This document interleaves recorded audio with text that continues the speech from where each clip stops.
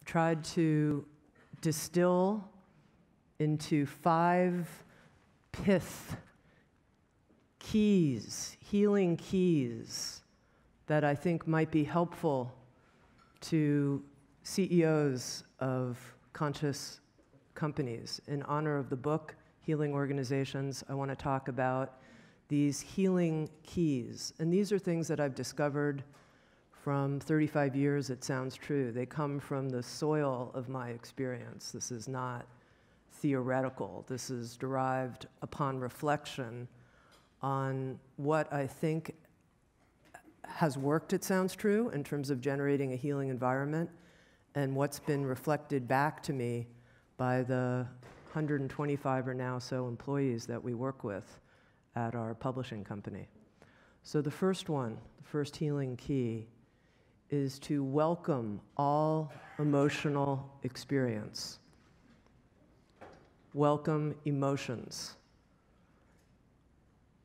It may sound pretty obvious, but I think in a lot of organizational environments, only a narrow band of emotions are actually considered welcome. Those emotions in which we're resilient and we have our capacities and we're good and we got it and we're on and let's go right? That's the kind of team we want. Those are the people we want. Well, what happens with our grief? Where does it go? Where does it go when members of our family die and we're suffering and we're not at our full capacity? Is it okay to talk about that? Like many organizations, we have a check in at Sounds True at the beginning of a lot of our meetings, and we have a 13 person leadership team. And recently I noticed there was a new member of the leadership team, and we were doing the check in. And this gentleman was looking around, and he was kind of like, At what level do I check in? Like, what's really, what's really, what's the norm here? And, you know, the first person talked about their stepfather having had a stroke.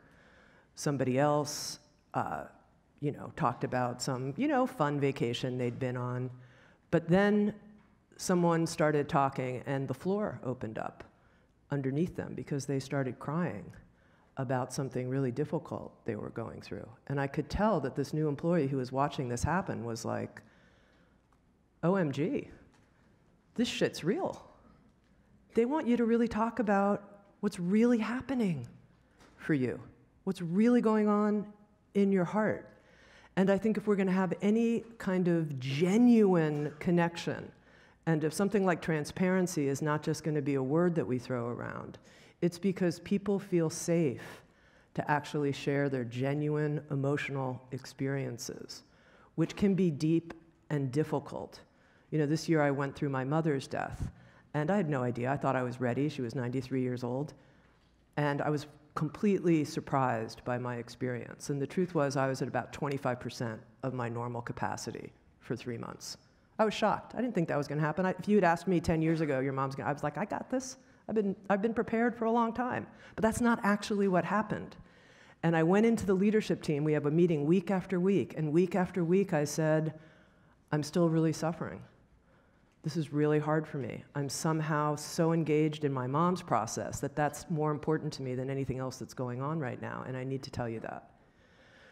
The reason I'm bringing this up as my first key to have a healing organization is that if we want people to take off their masks, the masks that they wear, we have to take off the mask that we wear.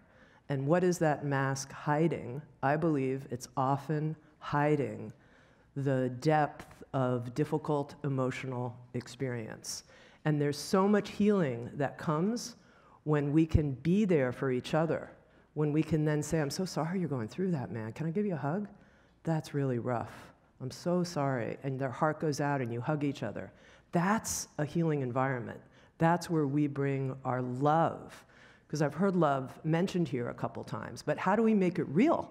How do we make it really real? And it sounds true. I've found that that love gets really real because we meet each other's emotional experience, which is shared, and it's safe to be shared, with our full hearts. So that's my first healing key. Welcome your own emotions and welcome other people's and make space for it. And if you're doing a check in, go deep. Other people will take their cue from you. They will take their cue from you. The depth that you go is the depth that they'll feel comfortable going. You open the door. The second one, second healing key, is to know your blind spot, to look for it, to hunt for it, to go for it. I want to know what I don't see. I don't want to just lead with my strengths and capacities and all of the ways that I'm super gifted. You know, yeah, what, what, what is it that I'm missing? Okay, so how do you know what you're missing? Because the whole point is that you're missing it, right? That's the whole point. It's a blind spot, it's literally blind. How do you know? Get incredible feedback, a lot from the people you work with, from your family, from your spouse, who knows absolutely everything. Everything. They know everything. If you want to know what your blinds, just ask your partner. You know who else knows everything? I don't have kids, but I watch kids and they watch the adults and they know everything. They, they see it all. So ask them things like what would make our life as a family or our life as a couple more deeply fulfilling? How could I be different? How could you feel loved more by me? You want to make love real. How could, how could there be more love in our house? What would you want from me to be different? That's an incredibly powerful way to know what your blind spots are, is to listen to the people who are close to you. And then, of course, at work, everyone in the room knows. They know. It's not a hunt. Just ask them. And then it's incredibly powerful and healing if you know what that is and you commit to working on it, really commit to it. You know, my uh, blind spot, and I'm not proud of it, but it had to do with being dismissive and interrupting. And I was dismissive because I thought I wanted to move the meeting forward, get things done, let's go. And a therapist at one point said to me, What do you think the purpose of the meeting is? And I'm like, To get shit done. What do you think the purpose of the meeting is? That's what the purpose of the meeting is. She's like, What if it was about connecting? And by you pushing forward in this way, you're actually losing the connectivity of your team. What if you focused more on connection? So we started working on this as a group, and people even put a jar in the center of the table, and it was every time Tami interrupts, she's going to put some money in the jar, and we're going to give it to the Sounds True Foundation, just to make it real. Everybody has their thing. Everybody, you know, and also especially the stronger you are in certain ways, often the more you have a weakness, because they kind of go together. You know, it makes sense. You know, I have an extreme kind of drive, and so that's what created this thing of like, now let's move on. I don't like that idea. Let's, you know, that's what created that. But I had to become painfully aware of how that impacted other people and the hurt that they felt. And I had to make a real commitment to put my heart values first, which is that everybody in the room's hearts count, not just my agenda. Okay, my third key. Another great way to know what you don't know is to listen to your body. Let your body be your boss. You're the boss, but no, actually, let your body be the guide, the teacher, the instructor. One of the authors we work with talked about the body as your unconscious mind giving you information all the time. It's taking in everything that's happened. We did this meditation this morning where we experienced the porousness of our body. Well, we're always porous, whether we use the meditation or not. We're taking everything in. Your body's taking in all the stresses, it's taking in all the projections, it's taking in everything. And if you want it to guide and communicate to you, it means that instead of throwing down a couple Excedrin or drinking more coffee or pushing yourself or whatever, you actually say, okay, body, what would actually be healthy for me right now? What do I need? You need to lie down. You need to take a nap. You need to go for a walk. You need to take a week off. You need to go hug your wife.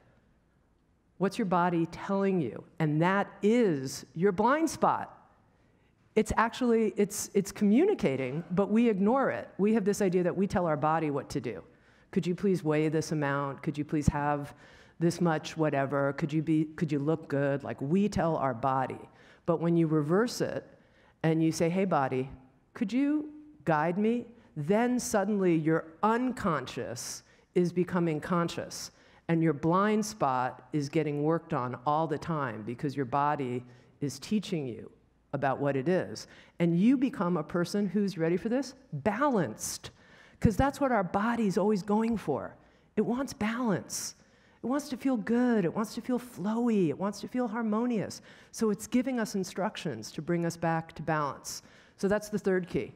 The fourth key, if you want to make love real at work as a leader, is be willing to confess your screw ups. Confess. And confess is a strong word, it's a word that comes from holy language, from religious language. But I think it's impossible for a person to be healthy who has not fully confessed whatever they need to confess. It's so powerful to be witnessed. And if you stand up in front of a group of employees and you confess, you know, I made the wrong, I just, I, I didn't know, I didn't see it, or I was in a hurry and I missed it, or we just plain made the wrong mistake, or that's part of my own learning, or whatever it is. That confession creates incredible return love towards you. I've seen it happen again and again. Unfortunately, I've had to confess again and again. It sounds true. Uh, it's not, uh, and now I'm confessing to you about my confessions. Uh, my wife says that I actually have a confession compulsion. Uh, I kind of do. As a person, I can't, I can't, I don't like to carry guilt and, and the shame, guilt and shame and that, it's a darkness actually to carry it. I don't want to carry it. I want to be light. And the way that I restore my light is to just say, God, I screwed up. I am so sorry. And that's the second part is apologizing.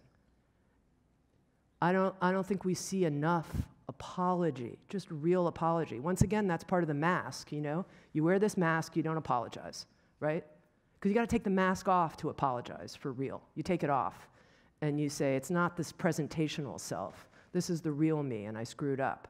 Now, interestingly, because I just want to make one more footnote on this point about the healing key being apology, uh, we, were, we work with an organizational psychologist, it sounds true, who helps us resolve various problems. And someone was apologizing to me and I listened, and da da da. And the organizational psychologist looked at me and said, Tami, do you accept her apology? And I was like, I thought to myself, well, kind of, sort of. Like, I get that she's sincere, but I will always hold that against her. Like, that's what I thought inside. Like, now I know. Now I know who you are. Now I know your spots. Like, I'm not an idiot. You know, you did this thing, da da da da. I get it. You apologized. And I realized that was another part of my problem that I hadn't seen was that I hold grudges. I hold grudges. Well, that's not a way to be a light and healed and flow person if you're holding a grudge. You know, yeah, I mean, I have my eyes open, but I can also accept her apology. I can forgive her and I can commit to starting anew. Talk about something that's healing. Starting anew with someone who has hurt you in your business, but who is sincere and who wants to grow oh my, that is, uh, that's incredibly um, healing. We have one of our core values at Sounds True. I'm not going to go into all of them, but one of them is the courage to grow and transform. We think of our business as a crucible of personal growth. And if you're going to have a core value like that, we grow and transform here at work. You're going to have to be able to both apologize and accept other people's apology. The last uh, healing key I want to point to is engaging in relentless self care. Now, I know as I say this, this can sound like, you know, a woman going to a spa, sitting in a bath with candles. And it's kind of like, really? Really? You're going to sit there and talk to me about relentless self care? But once again, I'm going to bring up uh, my therapist at one point who was talking to me, and she said, you know, Tami, the most accomplished athletes are the ones who have the most support. They have trainers, they have someone who's like massaging their calf, before, you know, whatever. You're kind of like a DIYer as a person. You like to do shit yourself. That's kind of how you are. Works better when I do it myself, blah, blah, blah. She's like, you're not, you're, this was a while ago. She's like, you're not really going to reach the kind of success you want unless you open up to getting a lot of support. A lot. Take really good care of yourself, and you will be so much better able to take good care of other people. You'll be so much more resourced. And it's just logical, right? Do you know what I mean? It's not like some, this is not miracle thinking. If your bucket is full as a person, you have something to give when the person you run into in the hall is suffering in some way versus being like, God, you know, I'm running on fumes. I got to get back to my desk and, and do whatever. You know, also, I was listening, and I just want to share this one thing to Sunny yesterday about, uh, you know, sell your business without selling out. And, you know, I've been at this for 35 years. And one of my mottos has been, really for the last 20 or so years, run the business and have all the joys of selling it without selling it. Now, that is a koan. That's a koan, but that's what I want. I don't want to sell my business. You know, I love it. I love running it. It's a great platform. I enjoy it. We're contributing in the world. It's a message platform for what I care about. And I want to be able to spend the summers in British Columbia on a weird remote island and kayak a lot. I want to be able to go, and I have historically gone on these month long meditation retreats. I want to be able to have a lot of freedom, and it's possible, but it's a type of creative rethinking of what a healing organization is, and an organization that will allow me as the founder to be healed while I run it and not project myself into the future sale date. Oh, that's when I'll be healed when I get all that money and then I can do all the things I want. No, I want each step of the way to be a beauty walk. And for me to have that uh, kind of joy and sense of accomplishment while continuing to run the business. So, those were the five healing keys I wanted to cover. When you welcome your emotions, you become emotionally congruent, and people can feel it. Oh, wow, people are emotionally congruent around here. When you know your blind spot, you are living in a crucible of growth, and it accelerates your growth, the growth of your employees, and the growth of uh, your customers too, because of the creativity that you have to touch them. Uh, when you listen to your body, you're embodied. That's a big part of being congruent. When you confess, you become a humble just one more two legged, you know, which is what we are. Uh, and then when you prioritize your sanity, which is another wa- way of saying prioritize your self care, relentless self care, you prioritize your sanity, you actually become sane and your business becomes sane. And then my final point, which is kind of like an extra key that I just want to throw in there, which is if we want to talk about what does it mean to create love in the world and to have love in our workplaces, I know for me, what I love the most is the truth. That's what I love the most. When somebody comes up to me and they tell me the truth in any situation. I love the truth. That's why Sounds True is called Sounds True. I love the sound of the truth. I love the feeling of the truth. I love it when someone's a truth teller. Not everybody loves when I start talking the truth, but that's okay. Uh, I love the truth. And anything you can do to speak the truth and invite the truth into your organizations, you'll create trust with the people you work with. And I believe that speaking and hearing the truth creates love and healing. So thank you.